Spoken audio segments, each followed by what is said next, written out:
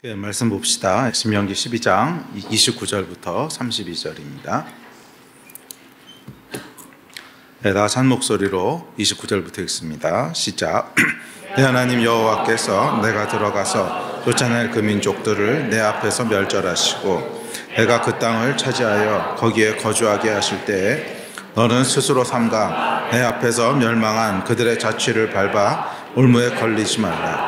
또 그들의 신을 탐구하여 이르기를 이 민족들은 그 신들을 어떻게 섬겼는고 나도 그와 같이 하겠다 하지 말라. 내 하나님 여호와께는 내가 그와 같이 행하지 못할 것이라.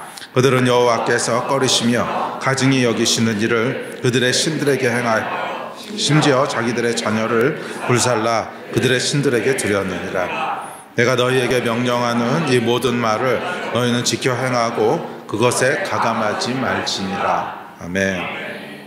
네, 지난주에 이어서 어, 우상을 섬기지 말라는 계명을 살펴보려고 합니다. 아, 지난주에 살펴봤듯이 구약의 율법은 아주 보편적이고 일반적인 것 몇 개를 제외하고는 문자적으로 지킬 필요는 없습니다. 아니 문자적으로 지키면 오히려 실수하고 이상해질 수 있습니다. 그래서 구약의 율법을 적용하고 해석하는 방법은 두 가지라 그랬죠. 첫째는 영적인 상징으로 풀든지 아니면 마음의 태도로 풀든지 둘 중 하나로 풀어야 된다고 하는 것이 신약 성경의 가르침입니다. 아, 그래서 우상을 제거하라고 하는 이 계명도 역시 마찬가지입니다. 소래 지난주에 첫 번째 적용인 마음의 태도로 아, 이 우상을 제거하라 하는 말씀을 적용했습니다. 좀 뭐였죠? 마음을 나누어지게 하는 게 우상이라고 그랬죠. 하나님한테 나누지 않 나뉘지 않은 마음으로 하나님을 예배하고 나뉘지 않은 마음으로 하나님을 믿고 그래야 되는데 그 마음을 자꾸 나눠지게 하는 거예요. 그래서 하나님도 믿지만 또 다른 것도 의지하게 되고 또 하나님도 사랑하지만 또 다른 것도 사랑하게 되고 이렇게 마음을 나누는 것이 우상입니다. 그래서 뭐 신약 시대에는 무엇이든 우상이 될 수 있습니다. 뭐 돈, 권력, 성공, 직업, 사람, 그러니까 무엇이든지 우리 마음을 나누어지게 하는 건 우상이 될 수 있습니다. 자 오늘은 두 번째 관점으로 이 우상에 대한 말씀을 예, 어, 나눠보려고 합니다. 그것은 영적인 상징으로서 우상에 대한 말씀을 어떻게 적용할 것인가 하는 것을 예, 생각해 보려고 합니다. 자, 10계명에 보면 제1계명과 제2계명이 우상에 대한 거죠. 그래서 제, 제1계명은 너는 내 앞에 다른 신을 두지 말라. 근데 뭐 2계명은 사실은 보편적이고 일반적인 개념이죠. 그래서 뭐 하나님 위에 다른 신을 섬기지 말라라고 하는 것은 그냥 보편적인 것이기 때문에 그냥 문자적으로 적용하면 됩니다. 그런데 두 번째 계명이 조금 애매합니다. 자, 두 번째 계명을 같이 한번 읽어볼까요? 자, 시작. 너를 위하여 새긴 우상을 만들지 말고 또 위로 하늘에 있는 것이나 아래로 땅에 있는 것이나 땅 아래 물 속에 있는 것에 어떤 형상도 만들지 말며 그것들에게 절하지 말며 그것들을 섬기지 말라. 나 내 하나님 여호와는 질투하는 하나님인즉 나를 미워하는 자의 죄를 갚되 아버지로부터 아들에게로 3, 4대까지 이르게 하거니와 자, 우상의 어떤 모양도 형상도 만들지 말래요. 자, 이건 어떻게 적용해야 될까요? 문자적으로 적용하기에는 오늘 한계가 있죠. 뭐 우리가 뭐 바알상, 아세라상 막 이런 걸 만들어 집집마다 두는 것도 아니고, 그러니까 문자적으로 적용하는 건 이제 한계가 있습니다. 그래서 이것은 당연히 영적인 상징으로 이제 적용하고 풀어가야 됩니다. 자, 그래서 오늘은 이 우상에 대한 가르침을 영적인 상징으로 어떤 의미를 가지고 적용해야 되는가 하는 관점을 가지고 살펴보려고 합니다. 자, 먼저 기초적인 내용부터 살펴봅시다. 영적인 상징이라고 했으니까 영적인 기초부터 일단 살펴봐야겠죠. 자, 하나님께서는 두 세계를 창조하셨습니다. 그래서 보이는 세계가 전부가 아니라 보이지 않는 영적인 세계가 있다는 거예요. 예. 자, 우리의 모든 신앙은 여기서부터 시작됩니다. 보이는 세계만 있는 것이 아니라 보이지 않는 영적인 세계가 있다. 그래서 그것은 뭐 보이지 않는 세계라고 부르기도 하고 영적인 세계라고 부르기도 하고 또 성경에서는 때로는 하늘과 땅이라고 묘사하기도 하고 하여간 두 세계가 있다는 거예요. 성경은 이렇게 얘기합니다. 자, 다음 시작. 만물이 그에게서 창조되되 하늘과 땅에서 보이는 것들과 보이지 않는 것들과 혹은 왕권들이나 주권들이나 통치자들이나 권세들이 만물이 다 그로 말미암고 그를 위하여 창조되었고 우리가 주목하는 것은 보이는 것이 아니요 보이지 않는 것이니 보이는 것은 잠깐이요 보이지 않는 것은 영원함이라. 예, 그러니까 성경은 하나님께서 창조하실 때 하늘과 땅 보이는 것과 보이지 않는 것들을 창조하셨다는 거예요. 그리고 이두 어, 세계 속에서 인간을 창조하십니다. 다음 구절 시작.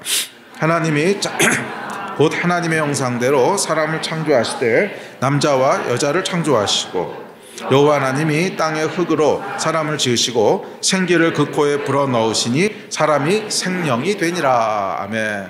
자 여기 보면 그 사람을 어떻게 창조하셨는가 하는 성경적 인간관의 아주 중요한 두 가지 키워드가 등장합니다. 첫째는 뭐예요? 하나님의 형상으로 지음받았다는 거예요.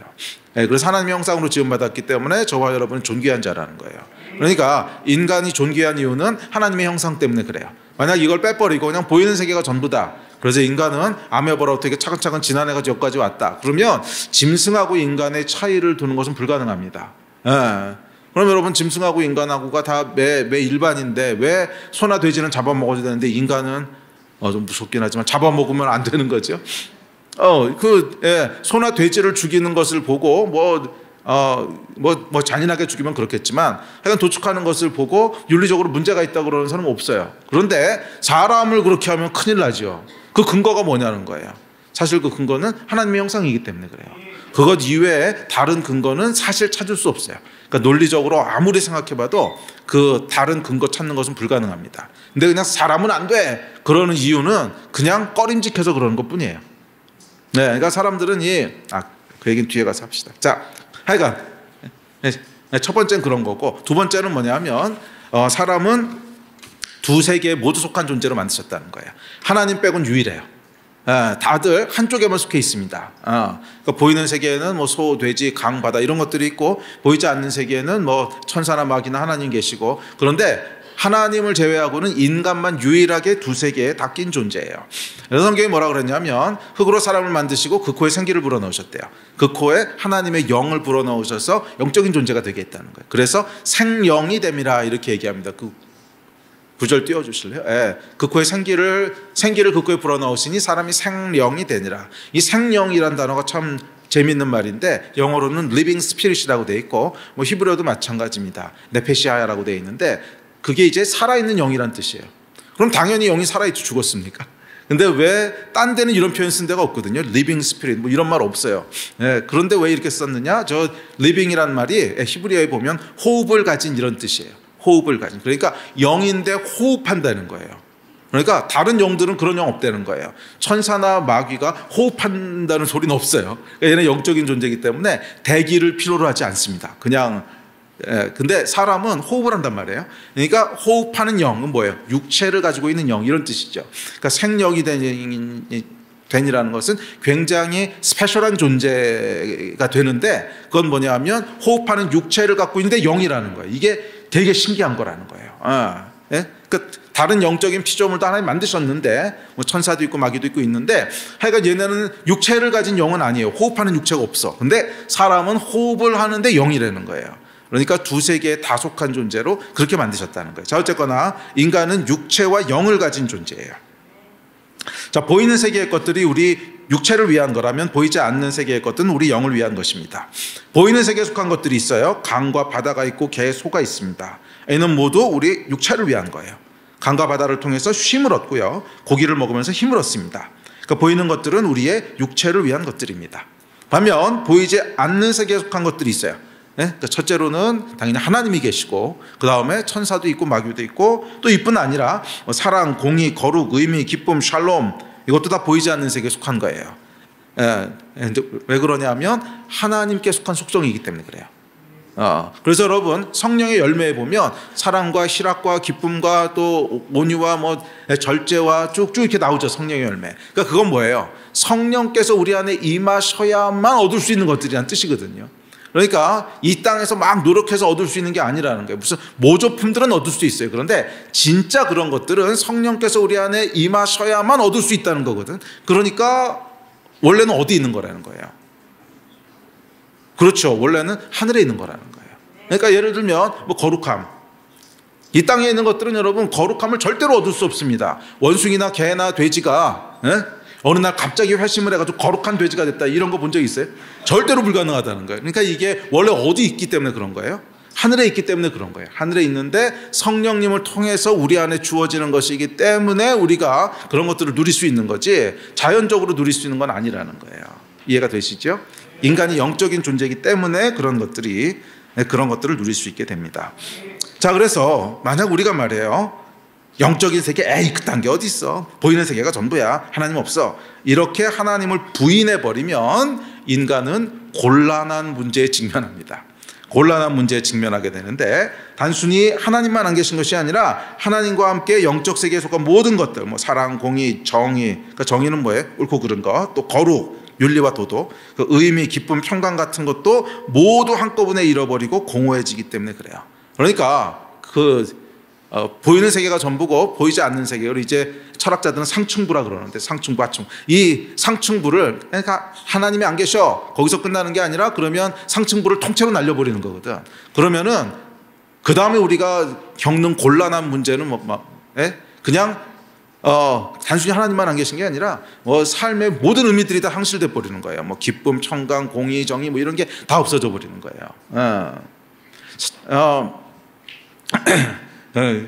그래서 여러분 사실은 어, 그 깊이 생각했던 철학자들은 모두 이 사실을 직면했습니다. 예, 그래서 케르케고르 같은 경우에는 아, 그, 그 인간의 본성을 불안이라고 했어요. 왜? 평강, 하늘에 속한 샬롬을 상실했으니까 불안만 남는 거예요. 또 윤리의 근거를 찾을 수 없습니다.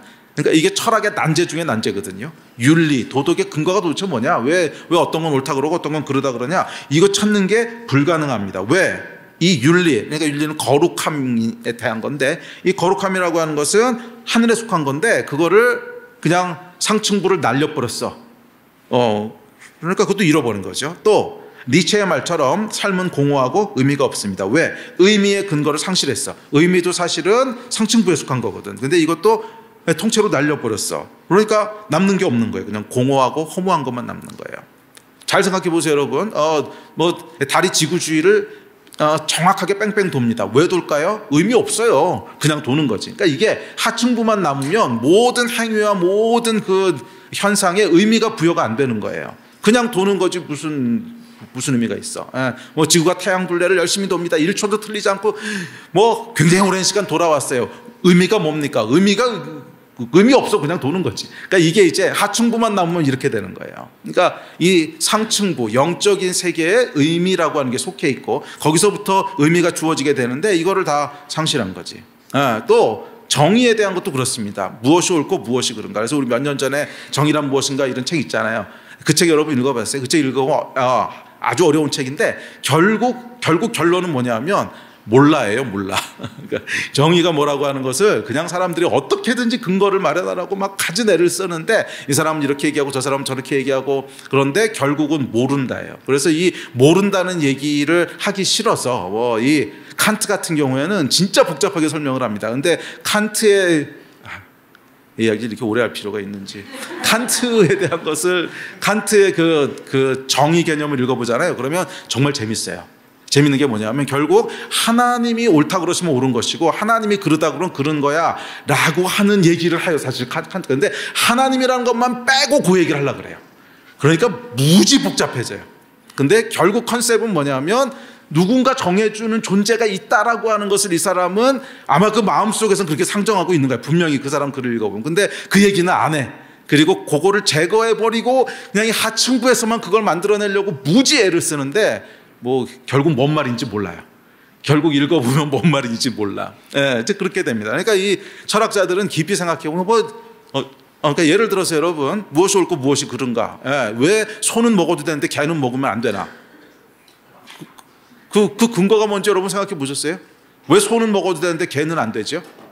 그러면 소는 되는데 사람은 왜 안 돼? 그러면 이제 사람이 안 된다고 하는 건 에이 사람이니까 안 되지 뭐 이렇게 얘기하는데 그럼 개는 왜 안 되죠? 이렇게 사람 빼고 개는 사실은 여러분 개나 소나 사실 차이가 없거든요. 그 유일한 근거는 뭐냐면 내 기분이야, 내 감정.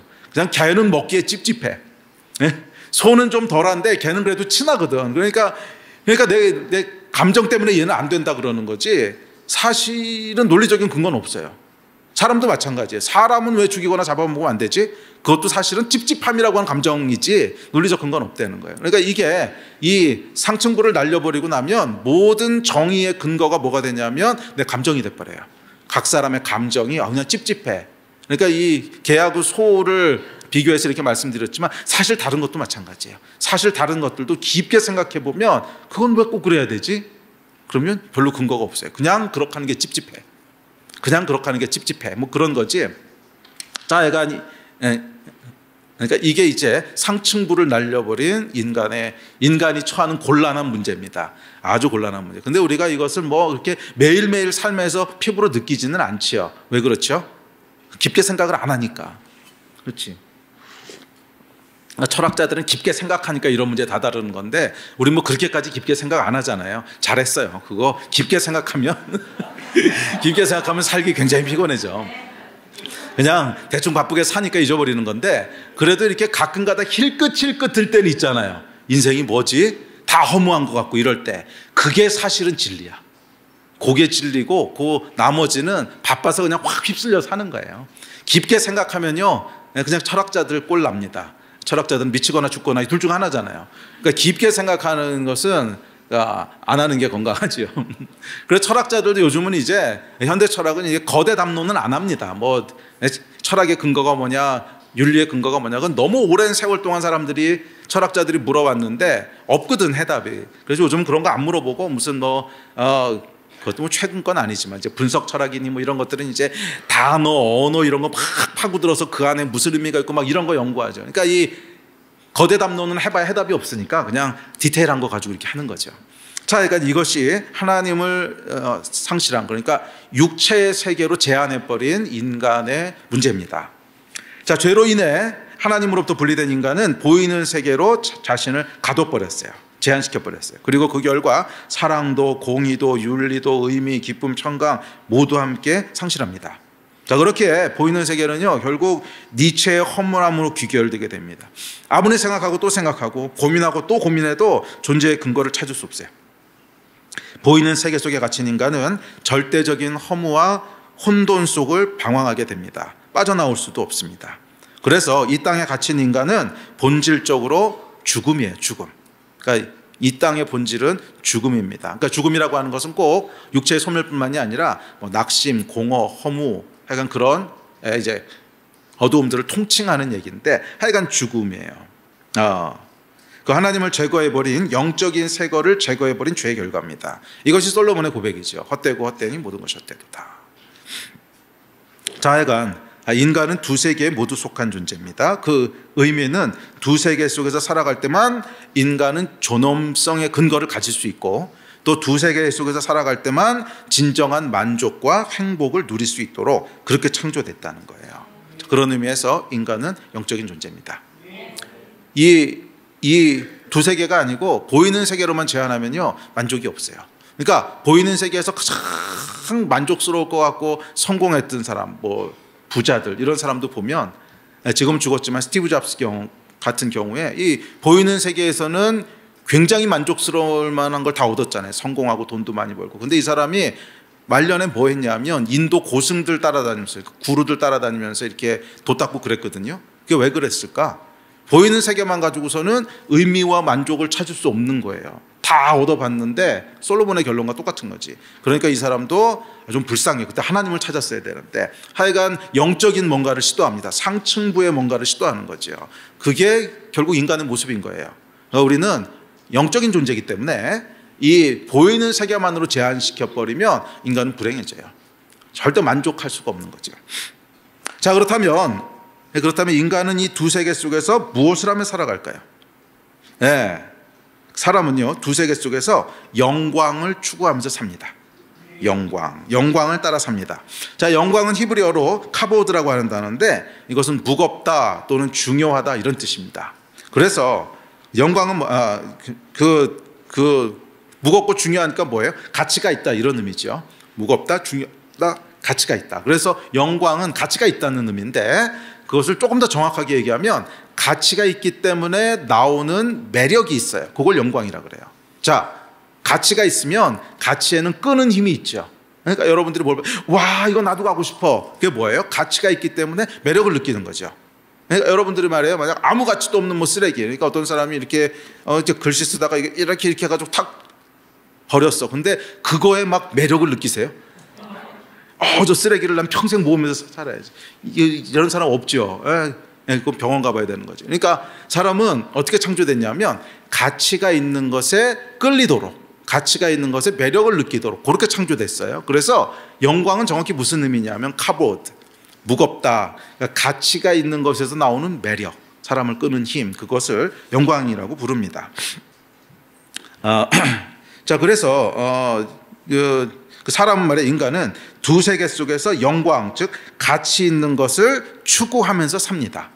음, 돈이 가치 있다고 생각하는 사람은 돈의 영광에 매료돼서 그것을 추구하면서 살고 권력이 가치 있다고 느끼는 사람은 권력의 영광에 매료돼서 그것을 추구하며 삽니다.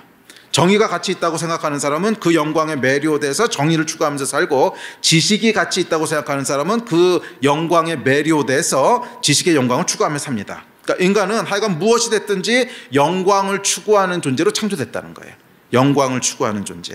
자, 그리고 성경은요, 땅에 있는 것이든 하늘에 있는 것이든 모든 만물에는 각각의 영광이 있다. 이렇게 얘기합니다. 다음 구절 볼까요? 시작. 하늘에 속한 형체도 있고 땅에 속한 형체도 있으나 하늘에 속한 것의 영광이 따로 있고 땅에 속한 것의 영광이 따로 있으니 해의 영광이 다르고 달의 영광이 다르며 별의 영광도 다른데 별과 별의 영광이 다르도다. 자, 성경이 뭐라 그래요? 하늘에 속한 것이든 땅에 속한 것이든 각각의 영광이 있다는 거예요. 각각의 가치가 있다는 거예요. 그렇죠. 모두 하나님이 창조하셨으니까 뭐 당연히 가치가 있겠죠. 아무 가치도 없는 걸 하나님이 창조하셨을 리는 없죠. 가치가 있고 의미가 있으니까 창조하셨겠죠. 자, 이건 성경은 땅에 있는 것이든 하늘에 있는 것이든 무엇이든 다 각각의 영광이 있다는 거예요. 개미나 모기도 개미의 영광이 있고 모기의 영광이 있다는 거예요. 그래서 이 얘기했더니 개미의 영광은 알겠는데 목사님 모기의 영광은 뭘까요? 설교 끝나고 아까 누가 물어보더라고. 그래서 모기는 뭐 가치 있는 게 아무것도 없는 것 같아요. 그냥 피만 빨아먹고 해충이지. 예. 그래서 또 그거를 어, 예, 우리 성진 목사님이 막 네이버 지식 검색으로 찾아봤어요. 모기가 생태계에서 뭐 차지하는 영향. 그랬더니 뭔가 있더라고. 예. 걔가 다 없어지면 곤란하대요. 예. 근데 하여간 모기의 영광은 여러분 아마 아마 어, 타락, 죄로 인해서 영광이 가리워졌겠죠. 사람도 그렇잖아요. 사람은 원래 하나님의 영광을 가진 존재인데 죄로 말미암아 그 영광을 상실하잖아요. 그렇듯이 모기도 아마 죄로 말미암아 그 영광을 상실했을 것 같아요. 예. 그래서 피만 빨아먹는 그 어, 예. 사악한 존재가 됐는데 하여간 원래 하나님 창조하셨을 때는 각각의 영광이 다 있다는 거예요. 모기의 영광도 있고 그렇다는 거죠. 자, 하여간 성경은요, 하늘에 속한 영광이 따로 있고 땅에 속한 영광이 따로 있다고 말합니다. 여러분은 어떤 영광을 추구하며 사십니까? 예, 땅의 영광입니까? 하늘의 영광입니까? 땅의 영광, 이 땅에 있는 가치를 추구하는 추구하면서 사는 것이 꼭 나쁜 건 아닙니다. 왜? 그 영광을 주신 분 하나님이시니까. 땅에 있는 것에 그 가치를 부여하신 분은 하나님이시기 때문에 그 영광을 추구하는 것이 꼭 나쁜 건 아니에요. 그런데 그것만 추구하는 것은 문제가 있습니다. 예, 왜? 사람은 두세 개에 다 속했거든. 예? 두세 개에 다 속했다고 하는 것은 땅의 가치를 추구하는 것 우리의 본능일 거예요. 그런데 동시에 또 뭐예요? 하늘의 영광도 같이 추구하도록 그렇게 만드셨다는 거예요.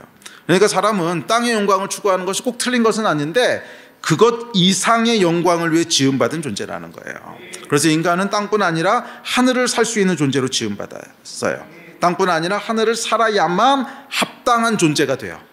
예? 합당한 존재라고 하는 것은 존엄성을 가지게 되고 만족을 누릴 수 있어요. 그런 존재로 창조되었다는 거예요. 예. 그래서 아까 스티브 잡스 얘기가 그런 거죠. 이 땅에서는 모든 영광을 다 취한 것 같은데 뭔가 허전하잖아요. 예. 그러니까 사람은 땅의 영광만으로는 만족할 수 없는 존재라는 거예요. 왜? 원래 그렇게 만들어졌어. 예? 하늘에 함께 속한 존재로 하나님 창조하셨기 때문에 이 세계의 그것만으로는 만족을 누릴 수가 없어요. 그래서 그저 먹고 마시는 생존하는 가치만을 추구하면서 산다면 그것은 짐승과 다를 바 없는 삶이에요. 그래서 하나님의 형상으로 지음받은 인간에게는 모욕이고 수치입니다. 모욕이고 수치예요. 아, 그래요, 여러분. 예? 그러니까 인간이 땅의 영광만을 추구하며 산다면 그건 모욕이고 수치예요.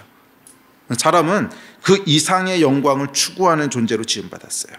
사람은 이 땅의 영광 이상의 영광을 추구하며 살아야 돼요. 그래야 존엄성을 가지게 되고 그래야 만족과 행복을 누릴 수 있게 돼요. 아멘. 기억하십시오. 사람은 영적인 존재예요. 자, 이제 우상의 형상을 만들지 말라는 말씀 본론으로 돌아옵시다. 우상의 형상을 만드는 것이 무엇을 의미할까요? 네, 그건 뭐냐면 하늘에 속한 영광을 땅 보이는 세계에 속한 영광으로 대체하는 것을 의미합니다. 네. 그러니까 특별히 아론의 금송아지 사건처럼 하나님의 형상을 만들 때는 더욱 그렇습니다. 자, 하나님에게는 영광이 있으세요. 그런데 그 영광은 무한한 영광이에요. 그래서 이 세상에 무엇으로도 표현할 수 없고 이 보이는 세계에 무엇으로도 나타낼 수 없는 그런 영광이 하나님께 있습니다. 카보드, 무게가 있어요. 자, 그것은 무한한 무거움이고 그것은 측량할 수 없는 가치고 그것은 온 우주의 모든 것을 주고도 바꿀 수 없는 무한하고 궁극적인 가치고 궁극적인 영광이에요. 예. 무한하기에 잠깐인 세상 보이는 것은 잠깐이요 보이지 않는 것은 영원함이라 이 잠깐이라고 하는 건 유한하다는 건데 유한한 걸 가지고는 표현할 수도 나타낼 수도 없어요. 네. 그 수학도 여러분 유한한 건 예? 잠깐인 거는 아무리 많이 더해도 결국 무한으로 못 가거든요. 그러니까 여러분이 생각하는 아주 큰 숫자를 생각해 보세요. 뭐 10조. 오케이. 10조를 10조 승해봐. 그러면 어마어마하게 큰 수가 되는데 여전히 무한은 아니야.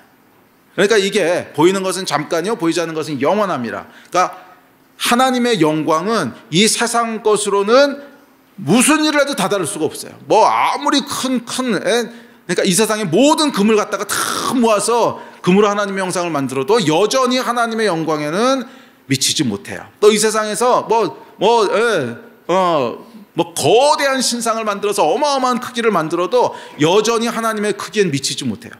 그래서 형상을 보이는 형상을 만든다고 하는 것은 나타낼 수 없는 하나님의 영광을 보이는 땅의 영광으로 대체, 내 격하에서 대체하는 거야. 격을 낮춰서 대체하는 거예요. 예, 하나님 그거 못하게 하시는 거예요.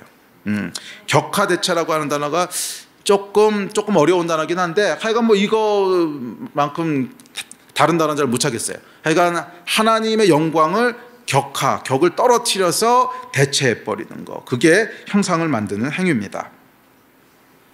자, 어, 그래서 우리가 하나님을 보이는 모양으로 만드는 순간 우리는 보이는 것으로는 표현할 수도 나타낼 수도 없는 하나님의 영광, 그 측량할 수 없는 영광을 보이는 것의 영광으로 대체 격하게 됩니다. 자, 예를 들어서 황금으로 하나님의 영상을 만들 경우 하나님의 영광을 황금의 영광, 부의 영광으로 격화 대체하게 되고 거대한 신상을 만들 경우 하나님의 영광을 크기의 영광으로 격화시켜서 대체하게 되고 사자나 호랑이의 모양으로 만들 경우 힘의 영광으로 격화시켜서 대체하게 되고 여신의 모양을 만들 경우 성적인 매력으로 격화해서 대체하게 됩니다. 성경은 이것을 이렇게 묘사합니다. 다음 구절 시작 썩어지지 아니하는 하나님의 영광을 썩어질 사람과 새와 짐승과 기어다니는 동물 모양의 우상으로 바꾸었느니라. 정확히 그 얘기하잖아요. 썩어지지 아니한 뭐예요? 영원한 보이지 않는 영원한 하나님의 영광을 썩어 없어질 땅의 영광으로 바꿨다는 거예요. 이게 우상이에요. 예? 그러니까 보이는 모양으로 우상으로 만드는 것은 썩어지지 않는 하나님의 영광을 썩어질 이 세상의 것으로 대체하고 격화시켰다는 거예요. 자, 그런 예 중에 하나가 이제 기복신앙입니다. 자, 썩어지지 않는 하나님의 영광을 이 땅의 축복, 뭐 부, 건강, 성공 등의 영광과 바꾼 거예요. 예, 물론 뭐 이런 것은 어, 뭐 하나님이 주시는 건 맞아요. 예? 예, 하나님께서 어, 뭐 필요하면 재정도 주시고 건강도 주시고 성공도 주시고 다 주시지요. 하지만 그것이 하나님의 영광에 미치는 건 아니에요. 그것이 아무리 중요하고 좋은 거라고 해도 하나님의 영광과 비교할 수 없어요. 그런데 사람들이 이제 기복 신앙의 오류에 빠질 때 보면 결국 이 하나님의 영광을 놓치고 이것의 영광에 매료되는 거죠. 하나님이 주시는 어떤 것 이게 사실은 우상이거든요. 예. 그래서 오늘날은 뭐 이렇게 아, 바알상 만들고 아세라상 만들고 그러진 않더라도 지난주에 살펴봤던 우리 마음을 나누게 하는 것들이 사실은 그거예요. 하나님의 영광을 이 땅의 영광으로 격화시키고 대체하는. 음, 자, 그게 우상입니다. 자, 하나님의 영광을 땅의 영광, 뭐 돈의 영광, 힘의 영광, 크기의 영광으로 격화시키고 대체하는 것입니다. 하나님께서 말씀하십니다. 다음 구절 시작. 나는 여호와이니 이는 내 이름이라 나는 내 영광을 다른 자에게 내 찬송을 우상에게 주지 아니하리라. 예. 와 하나님께서 당신 영광을 다른 자에게 주지 않으신대요. 그러니까 그 영광을 다른 것으로 대체할 수 없다는 거예요. 다른 것으로 대체 격할 수 없다는 거예요. 자, 인간은 여러분 하나님의 영광을 찬양하고 추구할 때 그 존엄성을 찾고 진정한 행복을 누릴 수 있어요. 보이는 것의 영광을 추구하면요, 인간은 망합니다. 예, 이 땅의 존재로 격화됩니다. 개 돼지 짐승으로 격화되어 그리고 불행해집니다. 존엄성을 잃고 죽음이 지배하는 땅의 존재로 전락합니다. 자, 인간은 보이지 않는 영광, 썩지 않는 영광, 영원한 하나님의 영광을 추구할 때 그때 비로소 만족하고 행복하고 존귀할 수 있도록 그렇게 창조됐어요. 자, 그래서 하나님은 어, 보이지 않는 하나님을 보이는 모양이나 형상으로 만드는 것을 허락하지 않으세요. 그 어떤 형상으로도 하나님의 영광을 나타낼 수 없기 때문에 그래요. 음? 그래서 하나님은 당신의 영광을 다른 자에게, 다른 것들에게 절대로 주지 않으세요. 예. 예? 그러니까 하나님의 영광은 돈의 영광과 비교할 수 없고요. 예? 그리고 하나님의 영광은 권력이나 힘의 영광과도 비교할 수 없고 또 하나님의 영광은 이 세상의 성공이 주는 영광과도 비교할 수 없어요. 사람은 이 하늘의 영광, 하나님의 영광을 바라보고 그것을 추구해야 돼요. 기억하십시오. 하나님은 당신의 영광을 다른 자에게 주지 않으세요. 이 땅의 것으로는 안 돼요. 썩어질 것으로.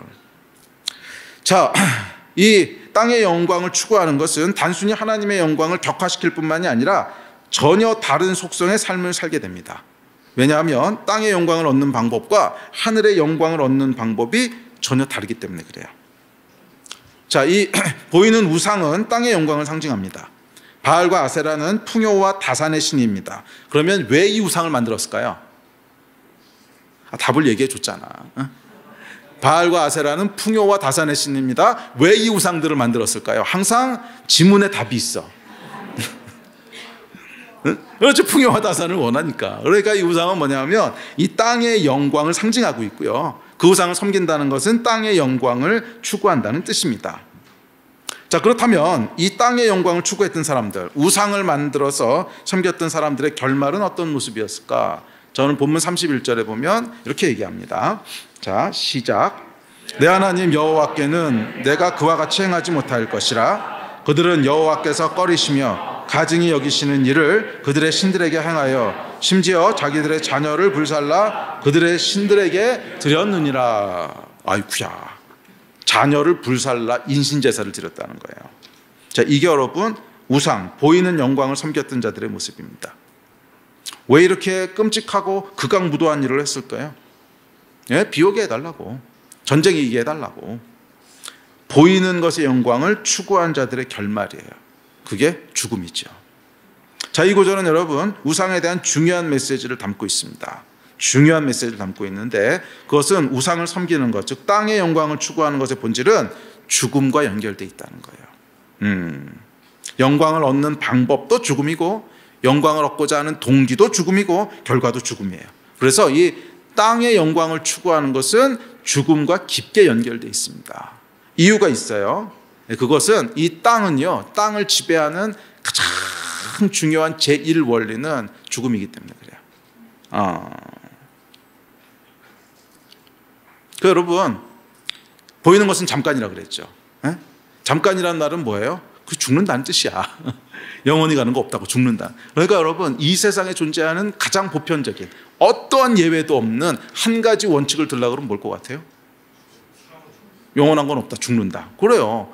그러니까 아, 그러니까 이 세상에 여러 원리가 있습니다. 무슨 이렇게 시계를 떨어뜨리면 뭐 중력 때문에 떨어지기도 하고 뭐 예, 여러 가지 원리들이 있는데 이 모든 원리 중에 가장 보편적이고 어떠한 예외도 없고 가장 우리 인생에 큰 영향을 미치는 절대적인 한 가지 원리만 꼽아보면 뭔 것 같으세요? 그 죽음이에요, 죽음. 죽음만큼 우리 삶에 큰 임팩트를 미치는 게 있어요? 없어요. 어? 또 죽음만큼 예외 없이 공평한 룰이 있어요? 없어요. 다 죽어요. 그러니까 이 땅, 이 하층부를 지배하고 있는 제1원칙이 뭐냐? 보이는 것은 잠깐이요. 뭐예요? 죽음이라는 거예요. 그래서 이 땅은 원래 죽음이 지배하는 영역입니다. 어, 반면 보이지 않는 세계는 뭐예요? 보이지 않는 것은 영원합니다.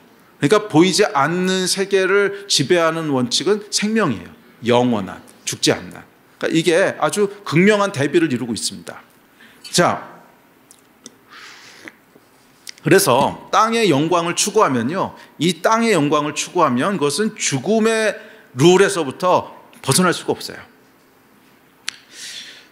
어, 자, 땅의 영광은 땅의 방법을 통해서 얻게 되는데 그러면 땅의 방법이 뭔가? 그것은 한마디로 힘의 원리입니다. 예, 힘 있는 자, 큰 자가 독식하는 원리예요. 그래서 다윈은 좀 더 정확하게는 다윈의 제자들인데 하여간 이 자연 세계의 제1 원칙은 뭐라 그랬냐면 약육 약육 강식이라 그랬어요. 제1 원칙을 약육 강식이 자연의 원리라는 거예요. 그래서 잘 보세요, 여러분. 이 자연 세계에 우리가 뭔가 막 물리적으로 이렇게 금지하고 막고 이러지 않으면 모든 자연의 원리가 어떻게 돌아가나 보세요. 어? 약육강식이지. 사자가 사슴 잡아먹지 사슴이 사자 잡아먹는 거 보셨어요? 없단 말이에요. 그러니까 이 자연 세계의 자연적이고 보편적인 원리는 뭐냐면 강한 자가 강한 놈이 약한 놈을 잡아먹는 거야. 큰 자가 작은 자를 억누르는 거예요. 힘 있는 자가 힘 없는 자를 뺏는 거예요. 이게 여러분 이 세상의 자연의 자연스러운 원리라는 거예요. 음. 그래서 여러분 이 사람도 어, 상층부를 제거해 버리고 그냥 보이는 세계 속으로 제한시켜 버리면 여기서 별반 다르지 않아요. 이게 이 세상 보이는 세상에서 영광을 얻는 방식입니다. 예? 잘 생각해 보세요. 나폴레옹이 큰 영광을 얻었죠. 그런데 그 영광을 어떻게 얻었어요? 정복해서 얻었죠. 정복은 어떻게 정복은 어떻게 어, 어떻게 얻어요? 죽음을 통해서 얻는 거죠. 그러니까 이 약육강식이라고 하는 것은 죽음이라는 거예요. 누군가를 죽여야 영광을 얻는다는 거예요. 누군가를 밟아야 영광을 얻는 거고 누군가를 뺏어야 영광을 얻는 거예요. 그러니까 약육강식이 자연의 원리다. 보이는 세계의 원리가 약육강식이다 하는 말의 뜻은 뭐냐 하면 죽음을 기초로 영광을 얻는다는 거야. 그래서 나폴레옹이 큰 영광을 얻었는데 그 기초에 가보면 정복이 있고 정복의 기초에 가보면 죽음이 있는 거죠. 누군가를 죽이면서 영광을 얻는 거죠. 다른 영역도 마찬가지입니다. 이 땅에서 영광을 얻는 것은 방법이 다 똑같아요. 힘의 원리예요. 힘. 예. 예? 힘 있는 자가 결국 누군가를 밟고서 영광을 얻어가는 거야. 왜? 아, 이제 그럴 수밖에 없는 게 이 땅은 잠깐이에요. 그러니까 어, 리소스가 유한해요. 유한한 걸 얻으려면 경쟁할 수밖에 없지. 왜? 가치 있는 것은 제한되어 있고 그걸 얻으려는 사람은 많은데 가치 있는 건 제한되어 있어. 그럼 경쟁하는 수밖에 없잖아. 그러니까 하늘의 원리가 여러분 다를 수 있는 이유가 뭔지 아세요? 리소스가 무한해요. 리소스에 제한이 없어요. 그래서 하늘을 살아갈 때는 이 땅에서 우리가 살아가던 원리하고는 전혀 다를 겁니다. 경쟁할 필요 없어. 원하는 건 뭐든지 있어. 그러면 어떻게 사실 것 같으세요? 굉장히 다르겠죠, 여기랑은. 에? 예? 그러니까 여기서 여러분들이 아등바등하면서 경쟁하고 막 이러는 이유가 뭐야? 원하는 건 제한되어 있는데 얻어야 되니까. 에? 예? 보이는 것은 잠깐이요. 제한되어 있기 때문에 그런 거거든. 근데 하늘은 달라요. 하늘은 무제한이야. 음, 모든 것이 그냥 무한해. 그럼 어떠실 것 같으세요? 삶의 방식이 완전히 다를 거라는 거예요. 요 차이예요. 그래서 우리가 하늘을 제거해 버리고 이 땅으로만 제한시켜 버리면 결국 어떤 인생을 살게 돼요?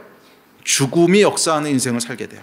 결국 누군가는 죽이고 밟고 그래야만 영광을 얻는다는 거예요. 이해가 되십니까? 자, 이게 여러분 보이는 세계에서 영광을 얻는 방식입니다. 보이는 세계는 죽음이 지배하는 세계예요. 힘 있는 자가 힘 없는 자를 죽임으로 영광을 얻고 어, 보이는 세계 원리는 다 그래요. 사자가 양을 잡아먹지 양이 사자 잡아먹지 않아요. 강한 자, 힘 있는 자, 큰 자가 약한 자, 힘 없는 자, 작은 자를 억압하고 뺏고 죽임으로 땅의 영광을 얻습니다. 돈도 그렇고 힘도 그렇고 권력도 그렇고 모두 그렇게 얻어요. 자, 그렇기에 보이는 세계의 영광을 얻는 방법은 누군가의 죽음을 기초로 합니다. 예. 음? 예. 그래서 아까 나폴레옹도 얘기했지만 누군가의 죽음을 통해서 주어져요.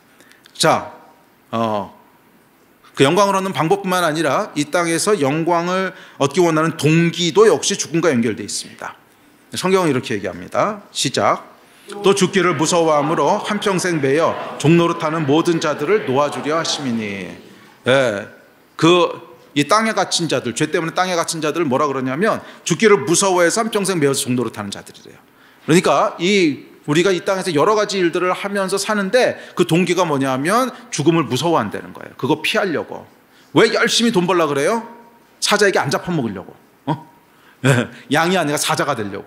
잡혀먹는 자가 아니고 잡아먹는 자가 되려고. 그래서 하는 거죠. 그러니까 이게 이 어, 영광을, 이 땅의 영광을 추구하는 동기를 보면 적극적인 면에서는 뭔가 이런 걸 성취하고 싶어 하는 거지만 소극적인 면에서는 면피하는 거예요. 응? 예, 나는 사자에게 잡아먹히는 자가 되기 싫어. 나는 잡아먹는 자가 되, 되는 건 모를까?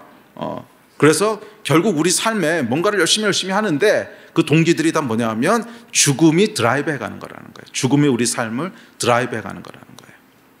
그렇죠? 예. 또 여러분들이 열심히 운동하시고 어, 여기는 아직 젊으니까 열심히 운동하시고 건강 관리하시고 왜 그래요? 안 죽을라 그러는 거잖아. 아멘이에요. 그래. 우리 삶을 드라이브 해 가는 것들 보면 그래서 왜 그런데 왜 그런데 왜 그런데 왜 그런데 왜 그런데 왜 그런데 해서 들어가 보면 이 땅의 것들은 다 동기가 똑같아요. 힘의 원리, 죽음의 원리예요. 음. 자, 이 결과 역시 죽음으로 귀결됩니다. 성경은 이렇게 얘기합니다. 보이는 것은 잠깐이요, 보이지 않는 것은 영원하다. 보이는 것은 잠깐이다, 영원하지 않다. 다른 말로 죽는다 이런 뜻이에요. 그래서 보이는 것은 무엇이든 죽음을 피할 수 없습니다. 아무리 영광스러운 삶도 결국은 죽음으로 끝납니다. 왕으로 살아도 결국은 죽음이고 노벨상을 탔어도 결국은 죽음입니다. 빌리언웨어로 살아도 결국은 죽음으로 끝나고 올림픽 금메달을 따도 결국 죽음으로 끝납니다. 그러니까 세상의 모든 영광은 결국 죽음으로 귀결돼요. 보이는 세상을 지배하는 것은 죽음입니다. 보이는 세상의 영광을 얻는 방식도 약육강식, 즉 죽음이고 그 영광의 결말도 죽음입니다. 그래서 여러분 보이는 세상은 죽음의 냄새로 가득합니다. 네, 성경은 이렇게 얘기합니다. 시작. 이 사람에게는 사망으로부터 사망에 이르는 냄새요. 저 사람에게는 생명으로부터 생명에 이르는 냄새라. 누가 이 일을 감당하리요? 이 땅은 여러분 사망의 냄새로 가득하다는 거예요. 그런데 감사한 복음은 뭐냐면 하늘은 반대로 생명의 냄새로 가득하다는 거예요. 아멘. 자 그렇다면 보이지 않는 세계를 지배하는 건 뭔가 생명이라는 거예요. 생명. 이게 대비가 되는 거예요. 자 그것은 생명의 냄새로 가득합니다. 네? 그러니까 하늘의 영광은 타인의 생명을 뺏음으로 얻는 영광이라면 하늘의 영광은 타인에게 생명을 줌으로 영광을 얻는 거예요. 그래서 이 땅의 영광과는 정반대예요. 생명을 줄 때 영광을 얻어요. 예수께서 우리에게 생명을 주심으로 영광을 얻으셨어요. 자, 성경은 이렇게 얘기합니다. 시작. 그는 근본 하나님의 본체시나 하나님과 동등됨을 취할 것으로 여기지 아니하시고 오히려 자기를 비워 종의 형체를 가지사 사람들과 같이 되셨고 사람의 모양으로 나타나사 자기를 낮추시고 죽기까지 복종하셨으니 곧 십자가에 죽으심이라. 이러므로 하나님이 그를 지극히 높여 모든 이름 위에 뛰어난 이름을 주사 하늘에 있는 자들과 땅에 있는 자들과 땅 아래에 있는 자들로 모든 무릎을 예수의 이름에 꿇게 하시고 모든 입으로 예수 그리스도를 주라 시인하여 하나님 아버지께 영광을 돌리게 하셨느니라. 아멘. 여기 전혀 다른 영광이 등장하는 거예요. 이게 하늘의 영광인데 이 영광은 뭐예요? 예, 하나님께 순종하는 게 영광이에요. 땅에선 여러분 순종시키는 자가 큰 자고 순종하는 자는 작은 자거든. 그래서 순종 어, 시키는 자에게 영광이 있는데 하늘의 영광은 반대예요. 순종하는 자가 영광이래요. 또 그것의 영광이 뭡니까? 타인을 위해서 희생하는 게 영광이에요. 네, 또 그것의 영광이 뭡니까? 십자가, 십자가가 영광이에요. 네, 그러니까 이 땅에서는 여러분 타인에게서 뺏는 게 영광인데 여기는 십자가에서 희생하는 게 영광이라는 거예요. 또 그것의 영광은 뭐예요? 겸손이 영광이에요. 네, 이, 이 땅의 영광은 커지고 자랑하고 이게 영광인데 그곳에서는 낮아지고 겸손하는 게 영광이에요. 네, 하늘의 영광은 이 땅의 영광과는 전혀 달라요. 어, 이 땅의 영광, 무겁게 생각하는 카보드, 그래서 뭐 돈, 힘, 크기, 정복 이런 것들인데, 네, 하늘은 전혀 달라요. 순종이 순종시키는 것이 아니고 순종하는 게 영광이고, 어, 뭐 희생, 정복이 아니고 희생하는 게 영광이고, 자랑이 아니라 겸손이 영광이고, 죽음이 아니라 생명이 영광이에요. 이게 하늘에 속한 영광이에요. 아멘. 여러분은 어떤 영광을 추구하며 사십니까?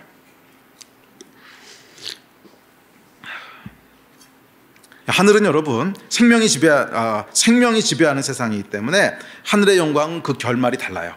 이 땅은 죽음이 지배하기 때문에 끝까지 가보면 뭐예요? 죽음으로 귀결된다 그랬죠. 하늘의 영광을 추구하는 자들은 뭘로 귀결됩니까? 영생으로 귀결되는 거예요. 성경이 이렇게 얘기합니다. 시작. 내가 하나님의 아들의 이름을 믿는 너희에게 이것을 쓰는 것은 너희로 하여금 너희에게 영생이 있음을 알게 하려 함이라. 그들은 영벌에 의인들은 영생에 들어가리라 하시니라. 너희가 죄로부터 해방되고 하나님께 종이 되어 거룩함에 이르는 열매를 맺었으니 그 마지막은 영생이라. 할렐루야.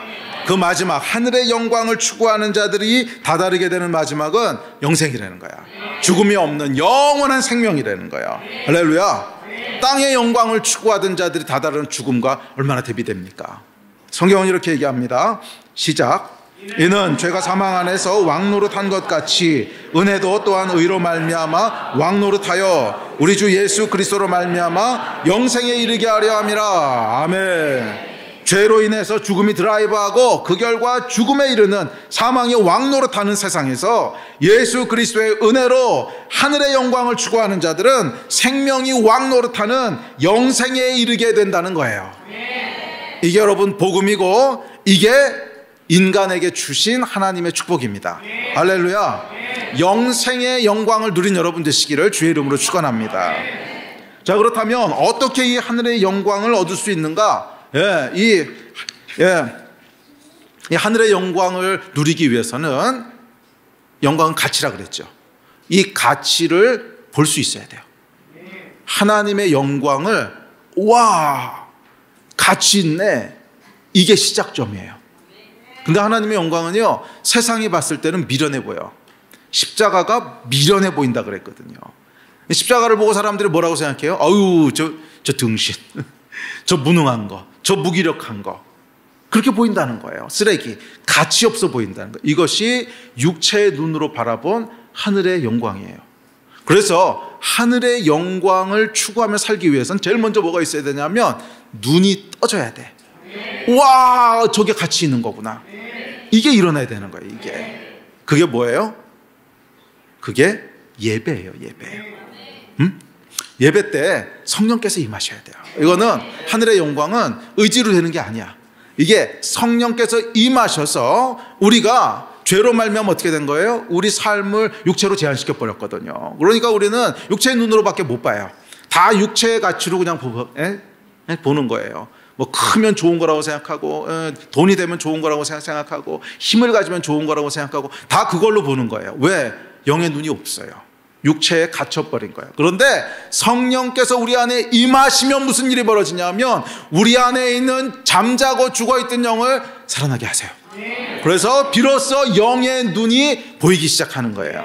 그랬을 때 하늘의 가치들이 다르게 보이기 시작하는 거예요. 우와, 십자가가 이렇게 영광스러운 거구나. 우와, 희생이 이렇게 영광스러운 거구나. 와, 사랑이 이렇게 영광스러운 거구나. 와, 하나님이 이렇게 영광스러운 분이시구나. 그것을 보기 시작하는 거예요. 아멘, 아멘. 이거 외에는 길 없어요. 노력한다고 되는 것도 아니고 배운다고 되는 것도 아니에요. 그냥 성령께서 강권적으로 우리 안에 임하셔서 우리의 영의 눈을 보게 하시는 거예요. 그래서 하늘의 것이 가치 있게 보이기 시작하는 거예요. 그 가치를 알아보기 시작하는 거예요. 이게 예배 때 일어나야 됩니다. 그러니까 여러분 예배는요 종교 행위가 아닙니다.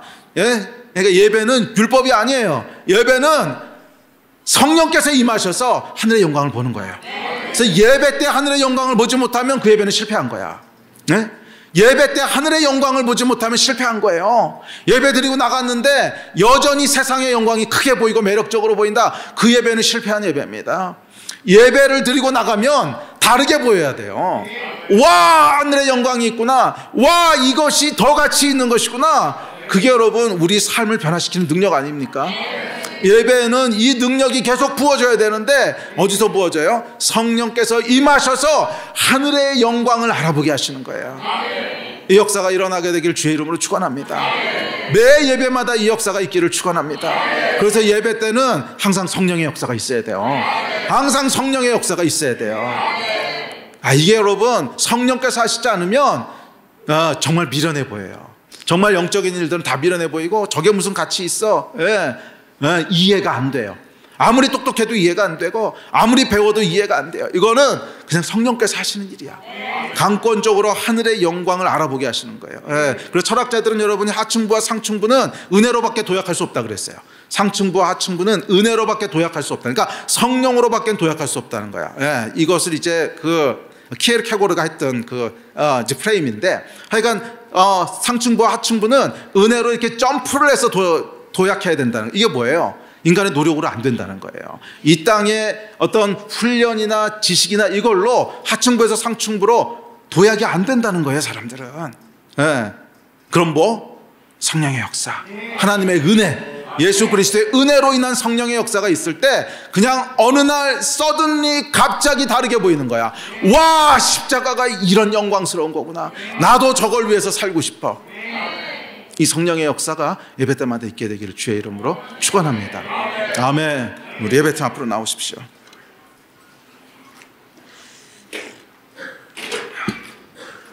자, 여러분은 어떤 영광을 추구하며 사십니까? 성경은 이렇게 도전합니다. 다음 절 시작. 썩을 양식을 위하여 일하지 말고 영생하도록 있는 양식을 위하여 하라. 믿음의 선한 싸움을 싸우라. 영생을 취하라. 이를 위하여 내가 부르심을 받았고 많은 증인 앞에서 선한 증언을 하였도다. 아멘. 여러분, 성경은요. 썩을 양식이 아니라 썩지 않을 양식을 위해서 일하래요. 썩을 영광이 아니라 썩지 않을 영광을 위해서 살래요. 썩을 영광, 이 땅의 영광을 추구하면 그것은 죽음에 다다르게 됩니다. 이 땅을 지배하는 것은 죽음이기 때문에 아무리 발버둥 할수 없어요. 절대 벗어날 수 없어요. 이 땅의 영광을 추구하는 한 우리의 의지와는 상관없이 우리도 죽음의 그 사이클을 살게 됩니다. 결국 누군가를 빼앗고 결국 누군가를 죽이고 그래서 올라가든지 아니면 내가 죽고 끝나든지 하여간 이 죽음의 사이클을 벗어날 수 없어요. 그러나 하늘의 영광을 추구하면 우리는 전혀 다른 결말에 이르게 됩니다. 그것은 영생이에요. 영생은 여러분 단순히 생명이 영원히 있다는 것뿐만이 아니라 무한한 자원을 누리게 된다는 거예요. 하늘에는 제한이 없어요. 무한한 자원을 누리기 때문에 우리는 더 이상 경쟁하지 않아도 돼요. 그러니까 하늘의 것은 여러분 경쟁하지 않아도 돼요. 하늘의 것은 경쟁하지 않아도 돼요. 이 땅의 것은 제한되어 있기 때문에 경쟁해요. 돈도 경쟁하고 사랑도 경쟁하고 사랑을 쟁취하기 위해서 경쟁하잖아요. 하늘은 그럴 필요가 없어요. 무한한 resource가 있기 때문에 경쟁 안 해도 돼. 그럼 뭐예요? 계속 나누고 베풀기만 하면 돼요. 전혀 다른 라이프 스타일을 살게 돼요. 그래서 여러분이 하늘의 영광을 추구하는 자들은 땅에서도 하늘의 영광을 추구하며 살 수 있다는 거예요. 그게 하나님 백성의 삶이에요. 그게 하나님 백성의 존엄성이에요. 그게 하나님 백성의 차이점이에요. 저는 여러분들이 이 존엄성 있는 삶을 살았으면 좋겠어요. 비록 우리 몸은 이 땅에 있지만 예, 우리의 삶과 우리의 마음은 하늘의 삶을 살아가는 하늘의 영광을 추구하는 그런 여러분들 되시기를 주의 이름으로 축원합니다. 일어나서 기도합시다.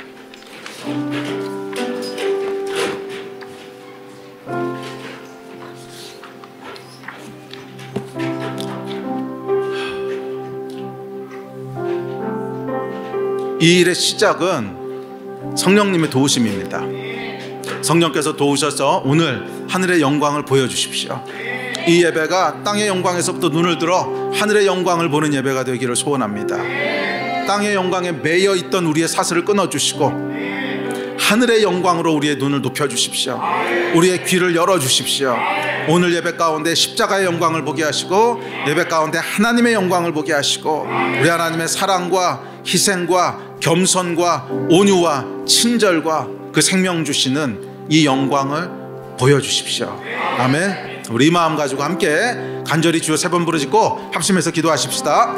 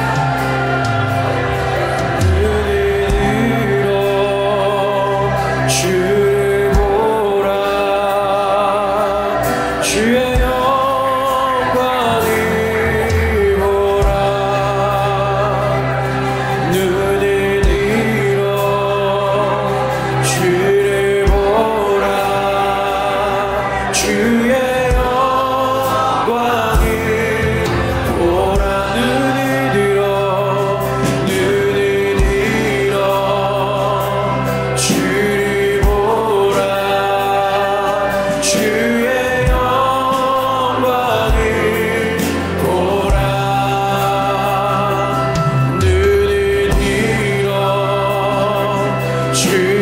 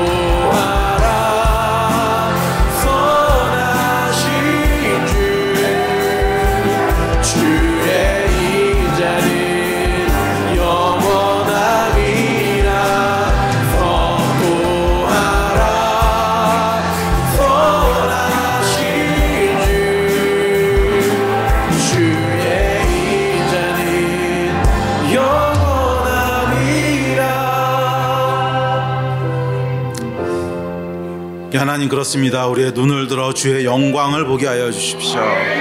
성령님 우리 가운데 주의 영광을 계시하여 주십시오. 그래서 이 땅의 영광에 사로잡힌 자들이 아니라 하늘의 영광에 사로잡힌 자들이 되게 하시고 이 땅의 영광을 추구하며 사는 자들이 아니라 하늘의 영광을 추구하며 사는 자들이 되게 하여 주십시오. 그래서 죽음의 매인 자들이 아니라 영상으로 들어가는 자들이 되게 하여 주시고 영원한 생명을 누리는 자들이 되게 하여 주시고 주의 백성의 존엄성과 주의 백성의 능력을 가지고 이 땅을 살아가는 하나님의 거룩한 백성들 다 되게 하여 주시옵소서. 주의 영광을 계시하여 주시기를 주님 다시 한번 간절히 소원합니다. 감사합니다. 주 예수 그리스도 이름으로 기도했습니다. 아멘.